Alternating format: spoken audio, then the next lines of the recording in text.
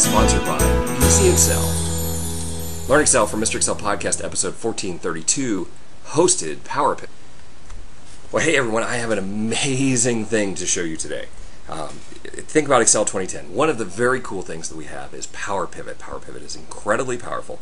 It allows us to take multiple worksheets and put them into a single pivot table. Uh, DAX calculations that we could never do in pivot tables before, and it's free with Excel 2010. That's one feature in Excel 2010. The other feature we have in Excel 2010 is the ability to take an Excel workbook and put it up on the web, and so that way other people can use it that protects your formulas, protects your IP. It makes it look very professional. Uh, unfortunately, those two don't match. You can't take a Power Pivot workbook and put it up on the web. Uh, it just doesn't work. So here we have two of the greatest features in Excel 2010 that don't work well with each other. That's bad. Have an amazing thing to show you today. Uh, this is from uh, the folks up at Hosted Power Pivot. So Rob Collie, you might have mentioned heard me mention Rob before. Rob uh, was mentioned in my book on uh, Power Pivot for the Excel Data Analyst. He uh, is formerly of Microsoft, uh, worked on the Power Pivot product, was an Excel project manager for a while. So, you know, for you watching this podcast as, as Excel people, um, you know, Rob is, is right there with us. Uh, this is running in a browser, okay, but I didn't build this as a web application. This was completely built in Excel using Power Pivot. Lots and lots and lots of data. 40,000 rows of data, a couple of different tables mashed up. We have slicers here, so just check this out. I'm going to choose from the slicer 1990, uh, and let's look at 1995 and the summer of 1995, so months 6, 7, and 8. I'll just leave the day the way it is. This is the Hot 100 database, the Billboard Hot 100 database uh, showing all of the songs that were in the Hot 100 that summer. Shows uh, where they peaked. That was a hard calculation to do. How to use DAX for that. Their average and the artist number of weeks on the chart. Also, hey, even check this out. That's a little trick there in Excel using the uh, icon set to star anything that managed to hit number one. All right, all of this is cool Excel trickery, and you know, if being Excel tricksters, we can all do this. But then I took this whole thing, uploaded it to the web. Now it's running, it's beautiful, it looks good. No one can get in and see my data, no one can get in and see my formulas, no one can get in and see how I did any of this. It's all completely protected. Absolutely amazing way to go. Now, why do I think this is amazing? If you're at a big company, you probably recognize this. This is this is SharePoint. But for all of us who don't have a big IT department over there, who can't figure out how to get SharePoint running, who don't have the money for SharePoint, or more importantly, the money to hire the three IT people to keep SharePoint running, this gives us the ability to put our workbooks on the web without having to figure out how to use SharePoint.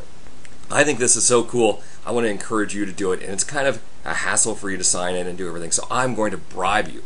I have a whole box here full of Power Pivot stuff Power Pivot stuff. I have t-shirts, I have decals, I have bookmarks, I have all kinds of stuff.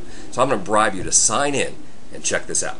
All right, so here's what I want you to do. I want you to go to this URL, http colon slash slash mrexcel.hostedpowerpivot.com slash pages slash default dot aspx.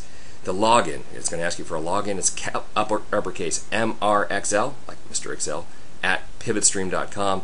Password, this is really, really tricky capital P, zero, lowercase W-E-R, capital P, an exclamation point, and then lowercase b-o-t. It's like Power Pivot, but with a few extra characters thrown in to make sure that we have a digit and a symbol.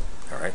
Once you're in, I want you to click on that soundtrack of your life. I want you to use slicers to go back to your high school graduation month. All right. Pull up. Uh, here, let me do it. All right. So I graduated from high school in 1980 and then 1983, and then we'll choose uh, June.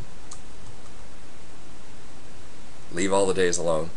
Um, and there we go. So Irene Cara, Flashdance, What a Feeling, Culture Club, David Bowie, Let's Dance, Men at Work, Overkill. This is like take me right back to uh, those great high school days. So pull this up for your high school graduation.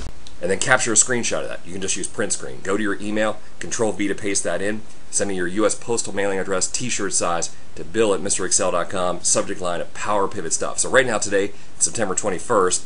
Um, I'm going to say this expires either a month from now. Um, or when the Power Pivot stuff is gone. I know that you know the podcasts are out there on YouTube for years and years and years. And I don't want to be sending T-shirts out, uh, but for the next month, we'll get rid of these T-shirts by anyone who's interested. Or if you want to really, really try it out, create a Power Pivot workbook of general interest, just anything. Don't put any secret confidential information in there, uh, but something that people would be interested to, email it to me. I'll add it to the site so you can try it out, others can try it out. Uh, what we'll do here is the um, first uh, five people that send in a workbook, I'll send them an autographed copy of Power Pivot for the Excel data analyst. All right. So to kind of uh, just again summarize why I'm so excited about this, uh, this technology allows me to take a Power Pivot workbook that I develop in Excel, upload it to the website. Um, it's uh, all of the formulas and data is completely protected. Uh, looks very professional. I got to add some artwork here. Life is very, very good. This is an amazing thing uh, from Hosted Power Pivot. You can click here for more information on uh, using Hosted Power Pivot. Go ahead. I want to thank you for stopping by. We'll see you next time for another Netcast, Mr. Excel.